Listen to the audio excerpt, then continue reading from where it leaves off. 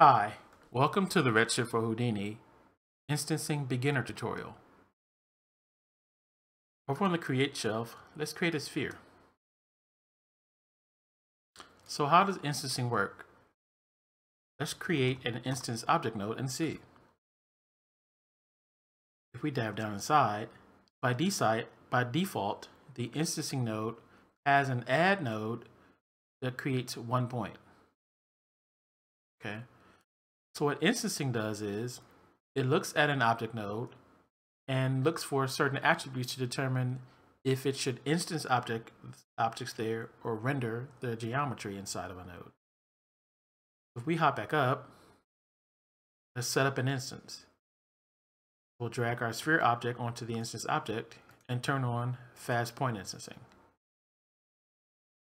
Right now, it doesn't look like anything has happened because there's only one point. Let's create some more points. Drop a grid node and select and delete the at top. So, wow, that looks weird. I got a grid. I got a sphere there. That's that's not expected.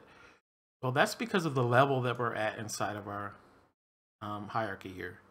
If we go up one level, we see that we've actually instanced the sphere onto the points of the grid. That's really weird. Let's go back down inside of this instance node and see what we can see what's going on here. So now, huh, there's only the bounding area of the grid. This is really, really weird.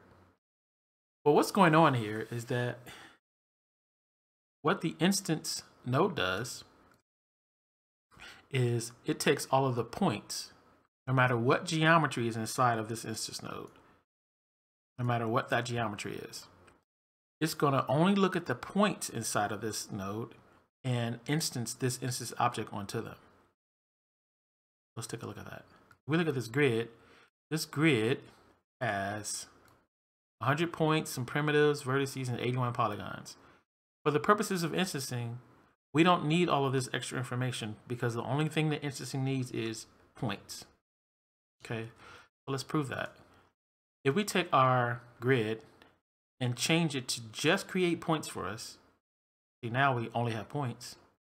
If we hop back up one level, we still have the same instancing. Okay, so why can't we see the instances when we're down inside of the instance node? That's because of the, the viewport level. Because the, the viewport right now is saying render render at the instance object level here. And it that's not supported right now. So what you do is if you go up the top level and you lock the viewport at this level, so even though, so the viewport is at object level, and then in the network uh, view, we can still dive down inside of, of object nodes and the instancing and viewport will still work. Let's prove that. Let's change the number of rows here. So if we change the number of rows, What's, what that's doing is changing the number of points. So now we only have 25. And because our viewport is locked at the object level, we get to see that in, in the viewport. We change that back to 10. Pop up and go to our Redshift shelf and start the render view. And see, we get the exact same representation in our viewport inside of Redshift. And if we go and change the number of points, the shift updates as well.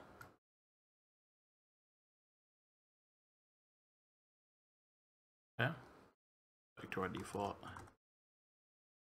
And that concludes the Redshift for Houdini instancing beginner tutorial. See you next time.